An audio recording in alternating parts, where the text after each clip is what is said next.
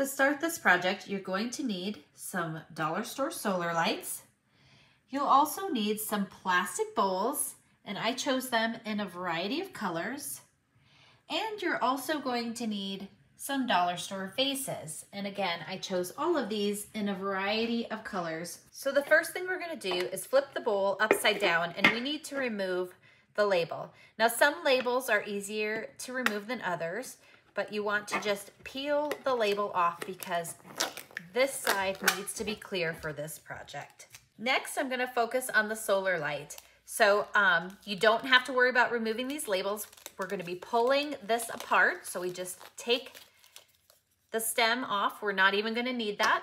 And then when you're inside here, you, ne you need to open up the solar light and pull out the tag so that the solar light works. Then you can place that back on and this part is ready to be used. So this will be the base of our project. And you could leave it plain, but I want it to have a little weight in it so that it won't blow over in the wind because this project will be going outside. But you could make it for inside as well. What I'll be using for this project for weight are these dollar store rocks. So I'm gonna be placing them inside. For the next step, I'm gonna place the solar light in top like this. So if you want, you can add some more rocks. You just wanna see how much you want and you need to leave room for that solar light to go into this vase.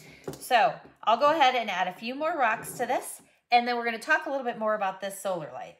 So depending upon where you wanna put this, you could put a little adhesive down here on the bottom and then have it stay in place. So most of the time, this is pretty stable. This is not gonna move. And I want the ability to change this solar light out if this solar light dies. So we're gonna talk about our next step, which is the top. Now, depending upon where you're gonna be putting this project, you could use some hot glue, but hot glue does not stay long in hot and cold temperature fluctuation. It might be great for a temporary hold though. You could use a permanent glue like E6000 or some super tight or super glue um, or this super glue here. This one comes from the dollar store even. You can grab this. And these are more permanent. So once you do something like these steps here, that solar light's going to be attached to the next step. So what I'm gonna do is add a little dab of hot glue on each corner, like so. And next, I'm gonna take that bowl and flip it upside down and place it right there on top so it's centered. So just to show you, if I remove this out, you can see that the solar light is in here. And in fact, this one actually isn't on correctly. So let me get that on there. But you can see here, I would be able to pull this off and replace this easily with another dollar store solar light if this burns out at some point. Here they are in my dish flower garden and I'm thrilled with how they turned out.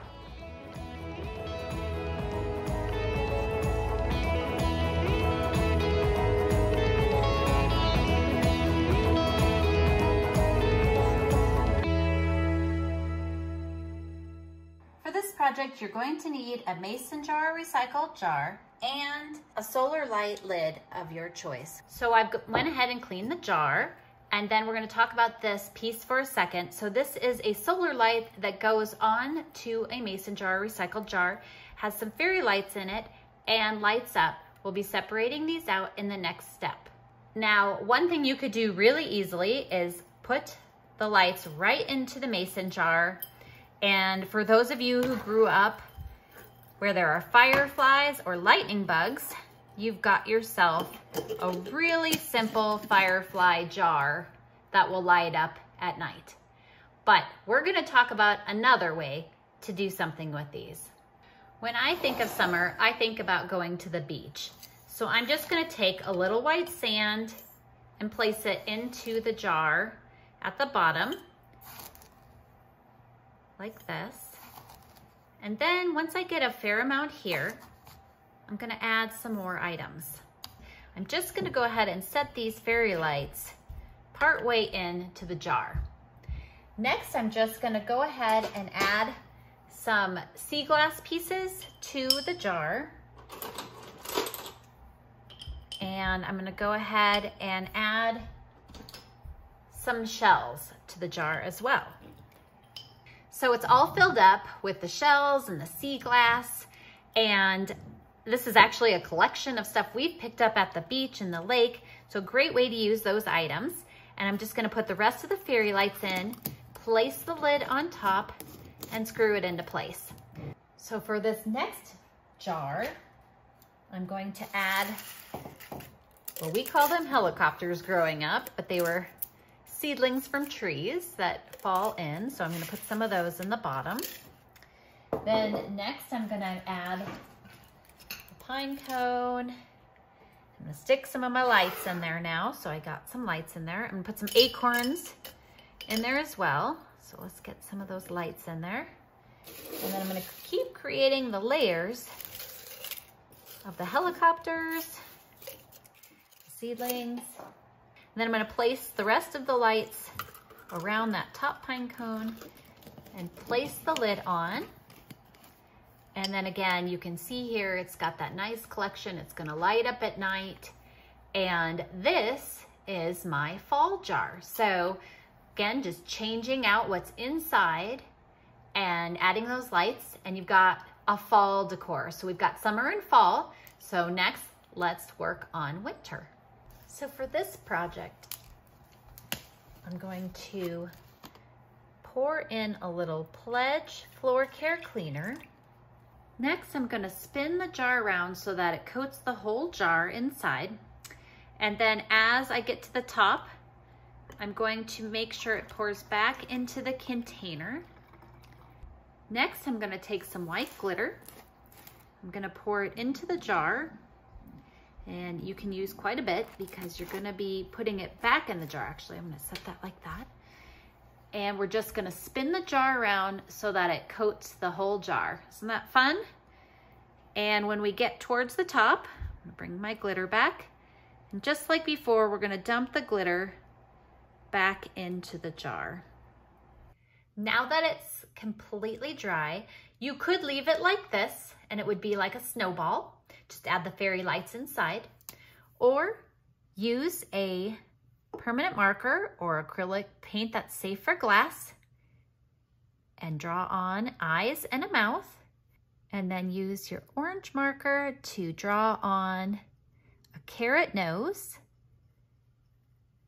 Now, if you're using marker, you're gonna wanna go back over it after this dries and then add some dishwasher safe Mod Podge if you're gonna be placing it outside. Now I take my fairy lights and I place them inside and place the lid on top and then it will light up outside as well. And now we're on our last season. So I've got my last jar. I'm going to place the fairy lights into the jar. Now, if you wanted to, you could make bunnies and chicks out of this, kind of like I did with the snowman. Or I'm a big fan of lilacs. So I grabbed some faux lilacs. You could also use real ones if they are in bloom and any real flowers. But I'm just gonna go ahead and stuff them around the lights in the jar or the lid on top. And then of course they'll light up as well. So let's take a look at all of our seasons in a jar. Here's a quick look at them before we take them outside and see what they look like when they glow. So as you can see, there are endless possibilities with this concept. You could put leaves in the fall, you could change it up and put flags in for summer, you could use real leaves or faux eggs for spring. You can also change up your winter one as well. So I'm gonna be placing these along my walkway to my front door. And again, you could make as many of these as you want for a season and then change them out. So I'm gonna go ahead and take them outside and let's check out what they look like all lit up. Now I bring them outside and place them near my walkway. I hope this inspires you to make some solar lights that are seasonal for your home. Again, I'm Chas from Chas's Crazy Creations. Thanks for watching Hometalk, and I'll see you next time.